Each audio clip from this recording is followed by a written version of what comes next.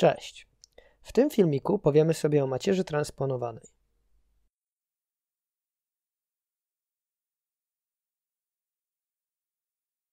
Weźmy sobie jakąś przykładową macierz o wymiarach 3 na 2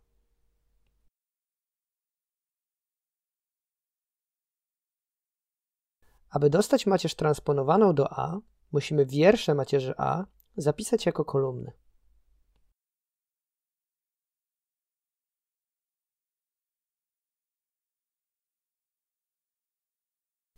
Wartości z pierwszego wiersza wpisujemy w pierwszej kolumnie, wartości z drugiego wiersza w drugiej kolumnie, a z trzeciego wiersza w trzeciej kolumnie. Macierz transponowaną do A oznaczamy najczęściej przy pomocy wielkiej litery T. Widzimy, że gdy macierz A ma wymiary 3 na 2, to macierz do niej transponowana ma wymiary 2 na 3. W związku z tym, jeśli weźmiemy sobie teraz macierz B, która ma wymiary 4 na 5,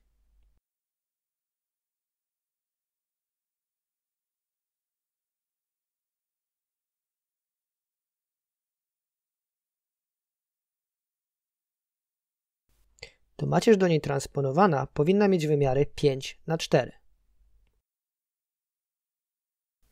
Możemy zobaczyć, że tak rzeczywiście będzie.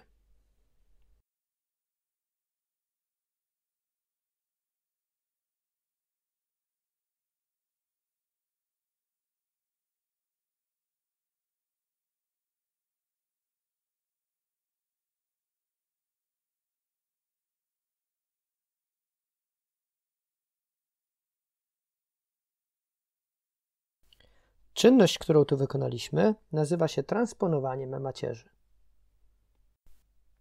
Zastanówmy się, co się dzieje z poszczególnymi elementami, gdy transponujemy macierz.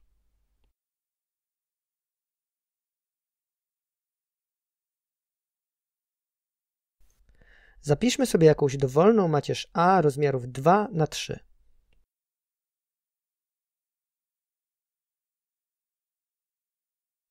macierz do niej transponowana, to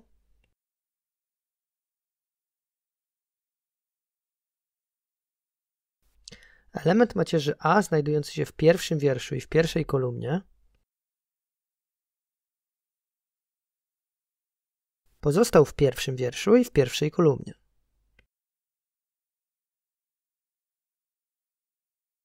Element znajdujący się w pierwszym wierszu, ale w drugiej kolumnie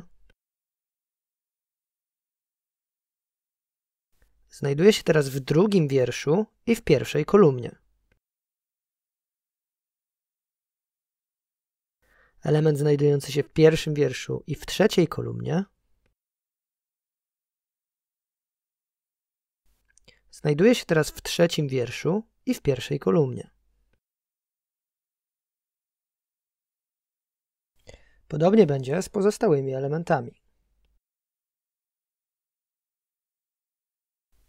Widzimy zatem, że każdy element z macierzy A zmienia swoją pozycję, zamieniając numer wiersza z numerem kolumny.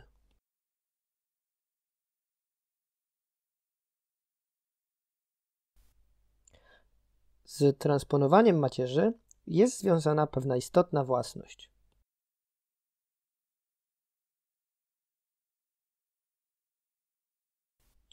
Wynika ona z faktu, że bez względu na to, z jakimi macierzami mamy do czynienia, wynik mnożenia a razy b powstaje z pomnożenia wierszy macierzy a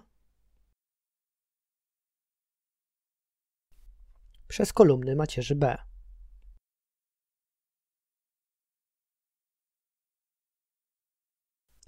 Możemy też jednak myśleć o tym inaczej. Kolumny macierzy b mnożą wiersze macierzy A. Jeśli w związku z tym przetransponujemy sobie macierz B,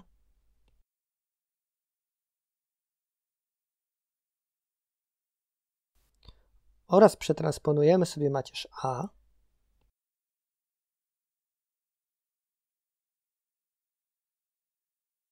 i pomnożymy w odpowiedniej kolejności, dostaniemy te same mnożenia wierszy i kolumn.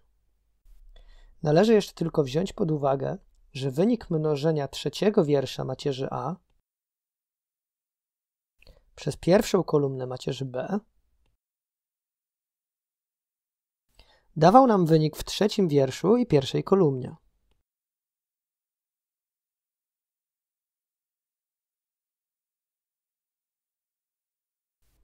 W działaniu po prawej wynik tego samego mnożenia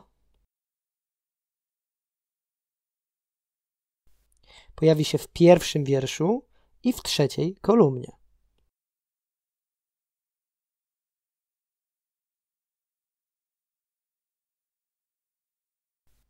Jak widzimy, pozycja elementu zmieniła się poprzez zamianę numeru wiersza z numerem kolumny.